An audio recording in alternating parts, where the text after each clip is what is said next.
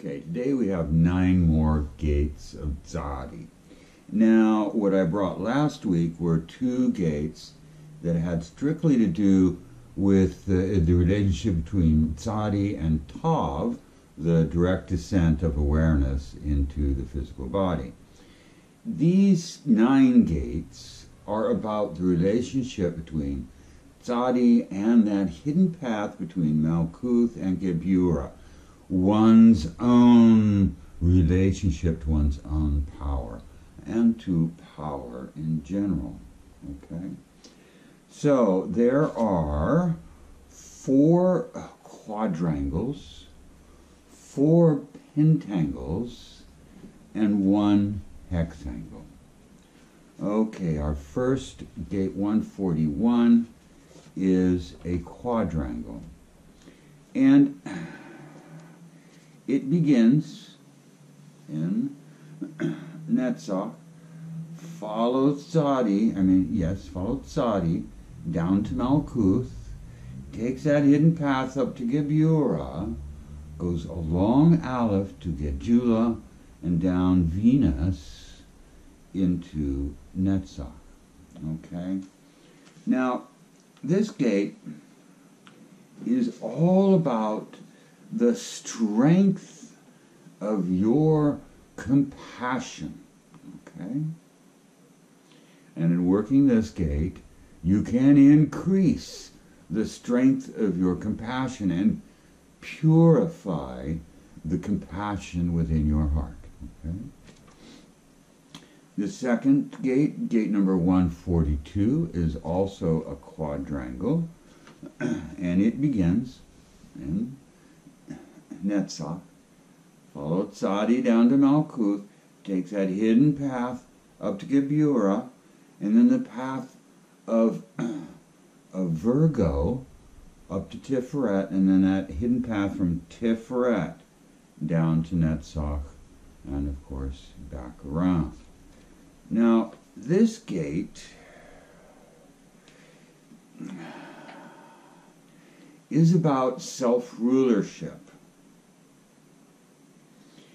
Um, it's about control over oneself, the solitary self, the solitary self's rulership over one's own emotional nature. The next gate is gate 143, and it's our first pentangle. And it, again, goes from Netzach, down the path of Tzadi to Malkuth, up that hidden path to Gebura, up the path of Virgo to Tiferet, down the path of Leo to Gedula, and down the path of Venus to Netzach, and then, of course, back around. Now, this gate takes compassion to a higher level and roots it in the solitary self. So it's a much more universal compassion. It's not situational.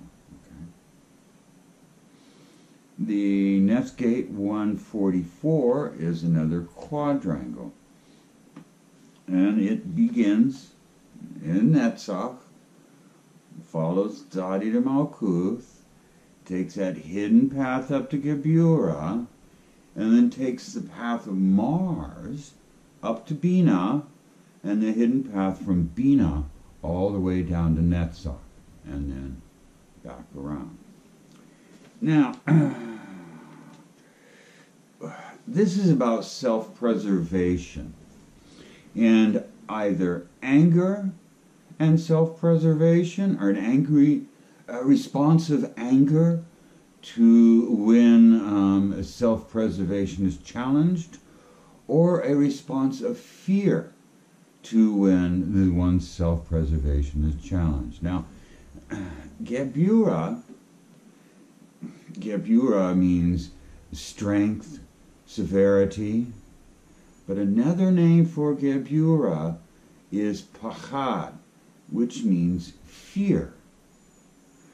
And so often, this relationship between Gebura and Malkuth can manifest as fear when one is threatened, when one's own existence is threatened in some way. So here in this gate, we get to explore uh, our responses of anger and fear and the source of them. Okay? Because, well, either response is not necessary.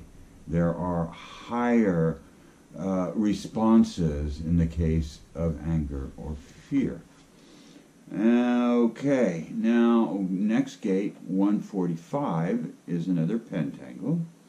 And it begins in Netzach, follows Tzadi down to Malkuth, takes that hidden path up to Gebura, takes Mars up to Bina, takes Cancer down to Tiferet, and the hidden path from Tiferet down to Netzach, and then back around. Now, self preservation is what this gate is about again. Now, self preservation is a totally normal and natural um, response to the universe. What we have here in self preservation is a more noble approach to self preservation, to seeing that in the context that does not include fear or anger, okay? To where it is a noble instinct that one can um, pursue in a noble fashion, okay? Uh, next gate, 146, is another pentangle. And it begins in Netzach, takes Tzadi down to Malkuth, Aquarius down to Malkuth, the hidden path up to Gebura, Mars up to Bina, Taurus up to Kether, and Kether all the way down to Netzach, and then back around. now, this is about anger, once again. But here it's a righteous anger. And you learn about the situations in which a righteous anger is important, and you learn the power of righteous anger. Sometimes it's the only um, logical response. okay? Um, now, gate number 147 is our hexangle. And it begins, as usual, in Netzach, follows Tzadi, Aquarius, down to Malkuth, takes that hidden path up to Gebura, takes Mars up to Bina, takes Taurus up to Kether, and then takes the hidden path from Kether to Gedula, and then Venus down to Netzach, and then, of course, back around. now, this again relates to compassion. And it's really the highest level of compassion mixed with self determination. ah, it's hard to put this the, the best way to put it is uh, passionate service to others. So it's compassion, but with this supernal input, okay? Hmm.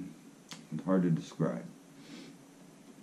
Okay, the next to last gate is gate number 148, and it is a quadrangle. Oh. And it starts in Netzach, follows Tzadi to Malkuth, takes that hidden path up to Gebura, takes the hidden path from Gebura up to Kether, and then that hidden path from Kether all the way down to Netzach and then back around.